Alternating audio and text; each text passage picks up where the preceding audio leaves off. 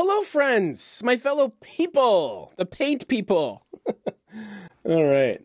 Great start. What's going on, everyone? It's James from The Paint People. Six videos a week on YouTube. Subscribe if you're new. Today, we're having a bit of a trip down memory lane because Benjamin Moore recently announced their six most popular paint colors, or at least the six most sampled paint colors from 2022. You're gonna wanna see this because there's some surprises and then also some not surprises. And I guess since we're on the subject of testing, if you are a fan of testing, which you should be, get your sample pots and then get some Mighty boards too, because they're large tester boards that are flexible and just very good quality. They hold paint really well. So if you're doing testing, do it the right way, do it the Mighty way. All right, we're gonna go over to my screen over here, and I actually preloaded these colors one by one. Don't try and zoom in and spoil it, okay? So the first color of these most sampled colors of the year happens to be the previous color of the year. Easy money. October Mist. Okay. So yeah, October Mist, I like this color a lot actually. It's a very subtle kind of soft sagey green. It marked the end of grayish in my mind because we were dominated by all these warm neutrals everywhere and maybe some whites and off whites as well. And this kind of gave color a little bit of a rebirth. Personally, I'm more of a November Rain fan, even though I was born in October, so I should ultimately like this one better. But it's no surprise that one of the colors that was sampled the most in 2022 would be the color of the year for 2022. That's going to change next year because Raspberry Blush is the 2023 color, so I'm really curious to see how many samples of that will be sold. But I guess we got to wait a year to find out. Next up, we have Chantilly lace. Now, what did Chantilly lace ever do to me, right? Why am I so hard on this color that is seemingly so innocent? It's just a stark bright white. It's the brightest white you can get. And as a painter, the brighter the white is, usually the more finicky it is to cover with. One of my contractor buddies who always swears by Regal, not Aura, actually noticed the coverage to be better with Chantilly lace in the new Aura product. So maybe maybe I can be convinced to use it more often. But at the end of the day, I do get why this color is so popular. It's really bright. In fact, it's the brightest white that Benjamin Moore makes. So you can't really argue with that. It's very stark and crisp. But that also kind of leads me to believe like maybe you don't need to sample it because it's just going to be white, right? The next color kind of justifies this choice a little bit to me, and that is Hale Navy.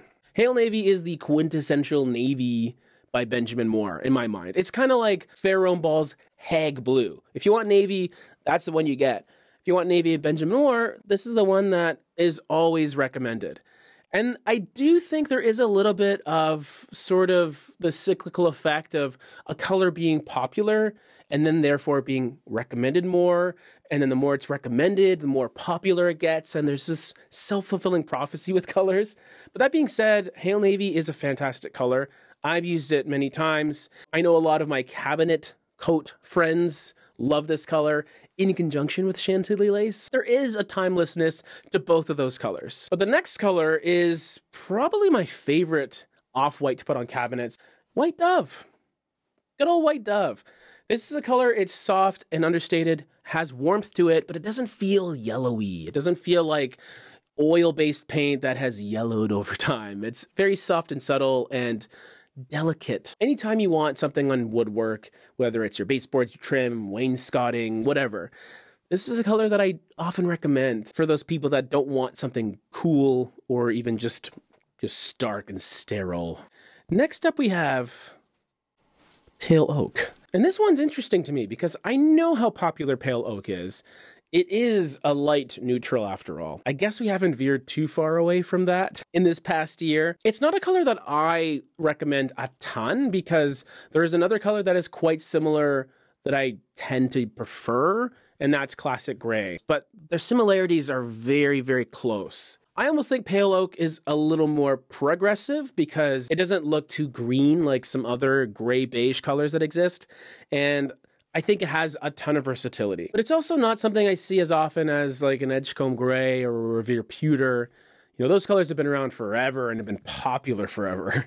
And guess what? They still are. One of the most sampled colors in 2022 is Revere Pewter. the tried and true color that everyone seems to love, or at least seems to sample. This is another example of one of those colors that just gets used so much and is circulating all over the internet that it just becomes part of the zeitgeist. I love that word.